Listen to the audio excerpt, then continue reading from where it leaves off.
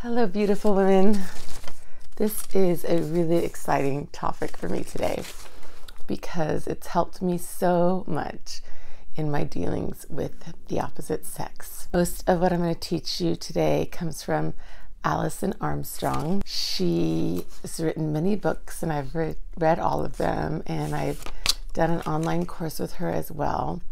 The fact that men and women are uh, the opposite sex.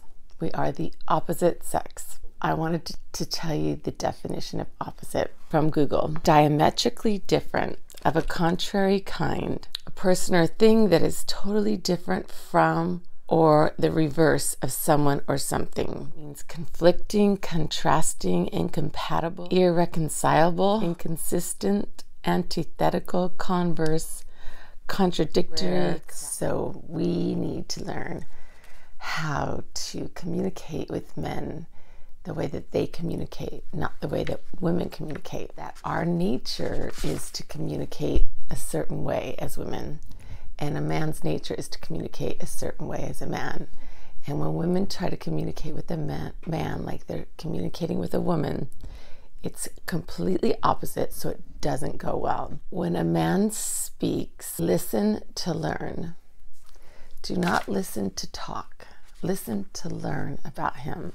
A woman speaks, our nature is to listen to talk.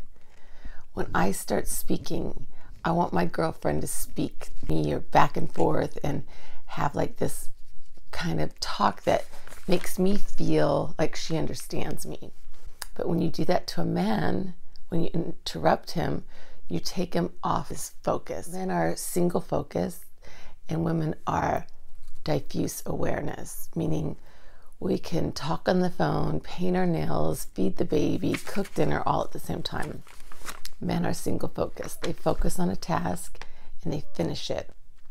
Therefore, when they are talking, that is something they are focusing on when we interrupt them to, to let them know that we, we get them like we do when we talk to women, takes them off their focus, doesn't work.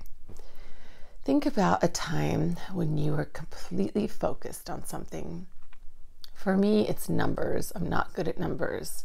So when I have to focus on numbers, I'm thinking get in my way because I have to figure it out because I have to put all my focus on it and how hard that is to be in that zone is how men are all the time. That's the way their brains are made. They focus on one thing at a time, completely 100%.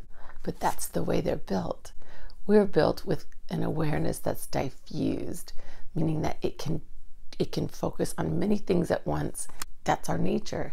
Their nature is focus, get one thing done, focus, get the next thing done. So, in conversation, when they're focusing and they're speaking to us, if we interrupt them and say, Oh, yeah, yeah, I know, I did that, that happened to me too. Oh my God, you wouldn't believe this happened to me yesterday. God, we're so, and that would bond us to a woman by doing that. Not a man. He's focused like I am when I'm working on numbers. I'm focused on the numbers. And if somebody comes and talks to me about something else besides those numbers I'm focused on, it will just completely throw me off. And frustrate the hell out of me. And that's what we do when we interrupt men and try to speak to them the way we speak to women. Number two for me is when they're done speaking, if we can just go against our nature and count to 30 in our head, we will be amazed what will come out of these men because all of their emotions, all the good stuff, all of the deep stuff that they have inside of them is buried very deep down. Men are not encouraged, even as little boys, to get into their feelings and to speak about their feelings. They don't they don't know how to speak about them because nobody taught them how to speak about them because it's not encouraged to speak about their feelings. Men don't speak to other men about their feelings. So when are they going to learn how to speak about feelings?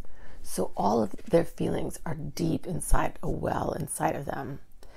So you must, after they're done speaking, count to 30 and wait for that well to open up.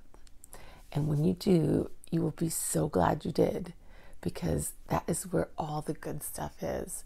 If you can wait till they're done speaking and count to 30 before you speak, you will be surprised. But what's deep in there, if you give them time to access it, it's such good stuff and it's so deep and it's usually so loving and so um, it's usually things that relate to us and their feelings about us. And that's what we want so desperately to hear but we never give them a chance because they're so deep inside of them and we're always interrupting because that's our nature. That's how we speak to each other.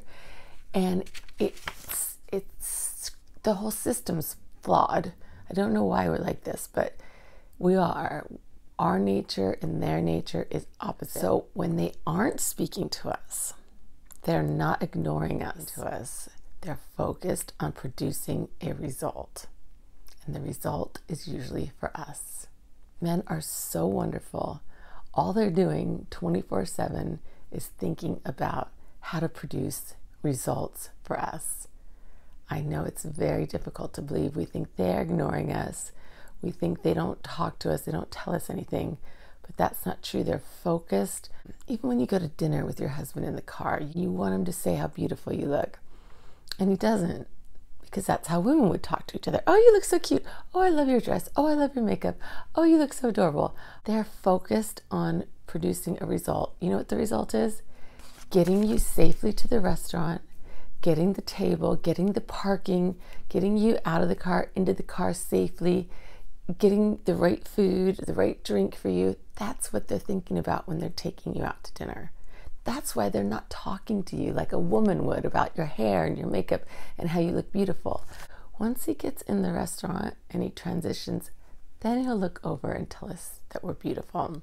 If we can listen to learn when they speak, and we can count to 30 when they're done speaking and wait for the well, and when, if we can know that when they're not speaking, it's because they're trying to produce a result for us, we'll be so far ahead of the game. So, these are just a few little tiny tips from Alison Armstrong, but she has so many tips. She's been studying men for 30 years and she's amazing. Everything that I've learned from her has helped me exponentially in my relationships. I wish I'd have learned it a long time ago hopefully it helped you and that your relationships improve because of it and that you check her work out and you can see even more ways to communicate with the opposite sex. Thanks so much for watching.